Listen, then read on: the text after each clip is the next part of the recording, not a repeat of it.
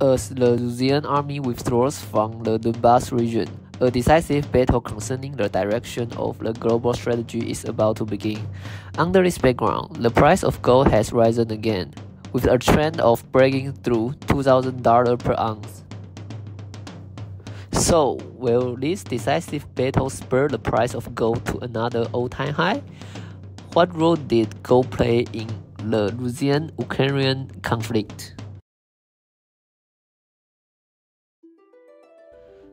In the Russian central bank's foreign exchange reserves, gold accounts for 22%, worth 132 billion US dollars.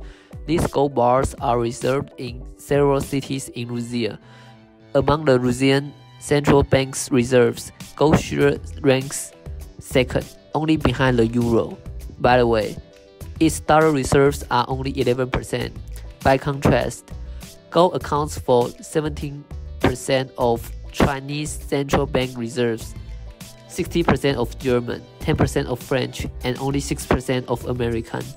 Therefore, it can be seen how deeply the Russian central bank trusts and relies on gold. After the conflict between Russia and Ukraine outbroke, United States launched comprehensive sanctions against Russia. The United States first kicked most Russian banks out of SWIFT and then U.S. Treasury Department further initiate secondary sanctions on Russia's 132 USD worth of gold transactions.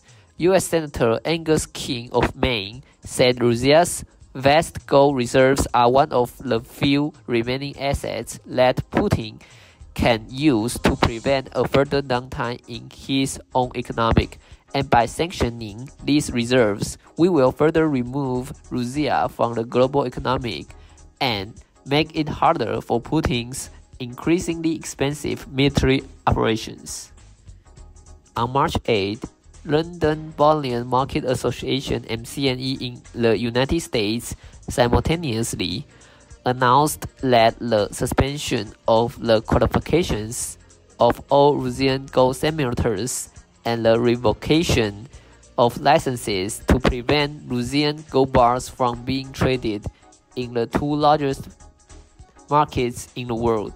At the same time, all persons and companies are prohibited from participating in the transaction process with Russian gold, including transportation.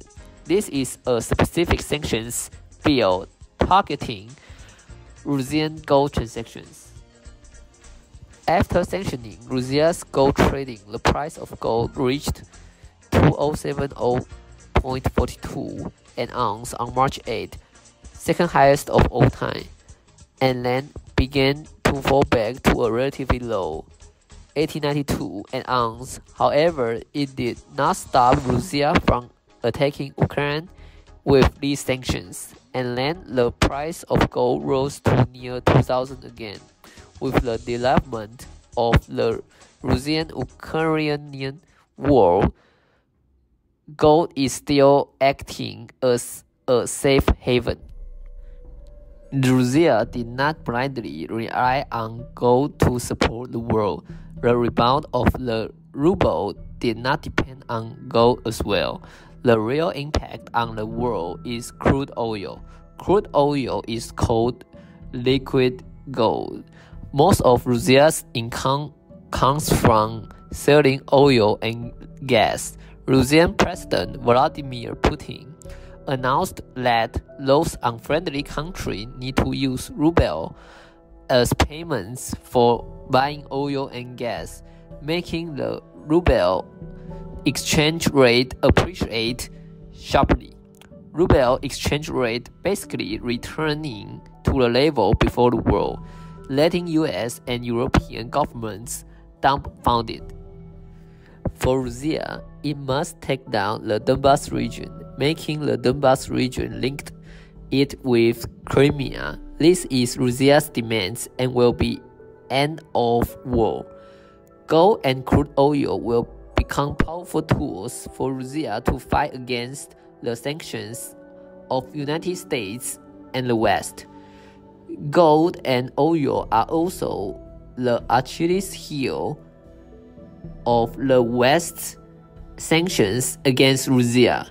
In this decisive battle, both sides will show their final strength, and the opportunity for gold and oil to rise can be expected.